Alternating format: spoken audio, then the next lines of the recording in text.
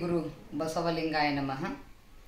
ಬಸವಣ್ಣನೇ ತಾಯಿ, ಬಸವಣ್ಣನೇ ತಂದೆ, ಬಸವಣ್ಣನೇ ಪರಮ ಬಂಧು ಎನಗೆ ವಸುದೀಶ ಕಪಿಲ ಸಿದ್ಧ ಮಲ್ಲಿಕಾರ್ಜುನ ನಿಮ್ಮ ಹೆಸರಿಟ್ಟ ಗುರು ಬಸವಣ್ಣನೆಯ. ವಿಶ್ವಗುರು, ಮಹಾಮಾನವತಾವಾದಿ, ಸ್ತ್ರೀ ಕುಲೋದ್ಧಾರಕ ಬಸವ ತಂದೆಯನ್ನು ಈ ಸಂದರ್ಭದಲ್ಲಿ ಸ್ಮರಣೆ ಮಾಡಿಕೊಂಡು ಸಮಸ್ತ ಜಗತ್ತಿನ ಎಲ್ಲ ಜೀವಿಗಳಿಗೆ ದೈವತ್ವವನ್ನು ಕೊಟ್ಟಿರ್ತಕ್ಕಂಥ ವಿಶ್ವಗುರು ಬಸವಣ್ಣನವರ ಜಯಂತಿ ನಡೀತಾ ಇದೆ. ವಿಶ್ವದ ತುಂಬೆಲ್ಲ ಬಹಳಷ್ಟು ವಿಜೃಂಭಣೆಯಿಂದ ಬಸವ ಜಯಂತಿಯನ್ನು ಮಾಡ್ತಾ ಇದ್ದಾರೆ.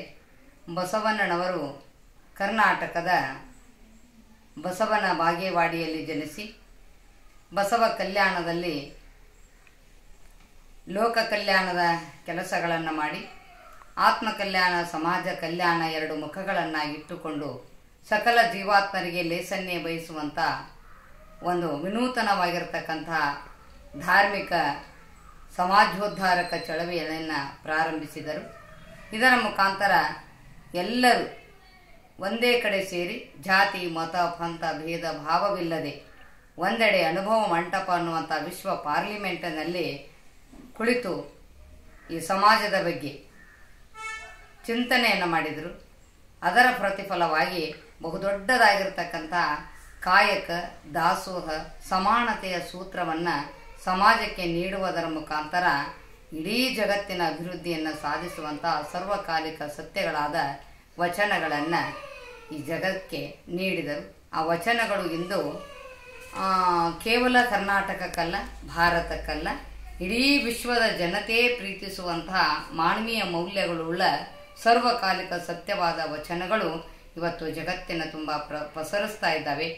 ಇದೇ ಸಂದರ್ಭದಲ್ಲಿ ನ ಕರ್ನಾಟಕ ಸರ್ಕಾರ ಬಸವಣ್ಣನವರನ್ನ ಸಾಂಸ್ಕೃ, ಕರುನಾಡಿನ ಸಾಂಸ್ಕೃತಿಕ ನಾಯಕ ಎಂದು ಘೋಷಣೆ ಮಾಡಿದ್ದಾರೆ.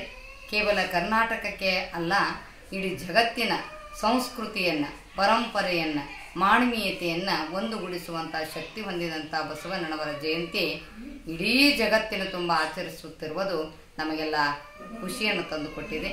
ಈ ಸಂದರ್ಭದಲ್ಲಿ ನಾವು ಕೂಡ ಸಮಸ್ತ ಇಡೀ ಜಗತ್ತಿನ ಎಲ್ಲ ಜೀವಿಗಳಿಗೆ, ಮಣುಕುಲಕ್ಕೆ ಈ ಬಸವ ಜಯಂತಿಯ ಶುಭಾಶಯಗಳನ್ನು ಈ ಸಂದರ್ಭದಲ್ಲಿ ಹೇಳ್ತಾ ತಮ್ಮೆಲ್ಲರಿಗೂ ಬಸವ ಜಯಂತಿಯ ಮತ್ತೊಮ್ಮೆ ಶುಭಾಶಯಗಳು, ಶರಣು ಶರಣಾರ್ಥಿಗಳು.